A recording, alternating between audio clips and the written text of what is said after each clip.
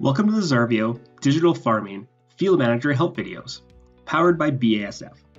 In this video, we'll show you how to bring in already created border files from the My John Deere Operations Center. To do so, select Add Fields.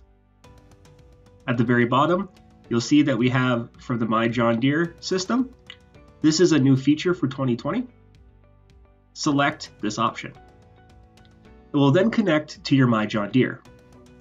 Logging in for the first time, you will have to put in your username and password to give Xarvio Field Manager access to your My John Deere program.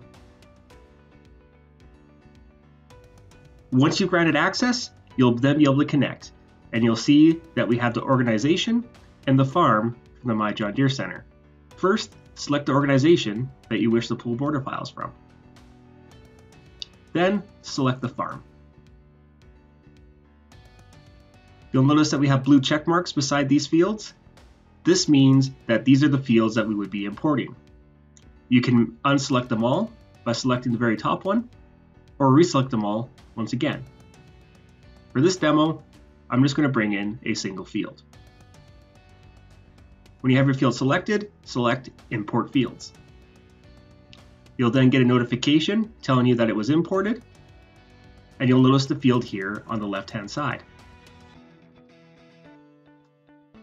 If the field does not show up right away, you might have to refresh your page.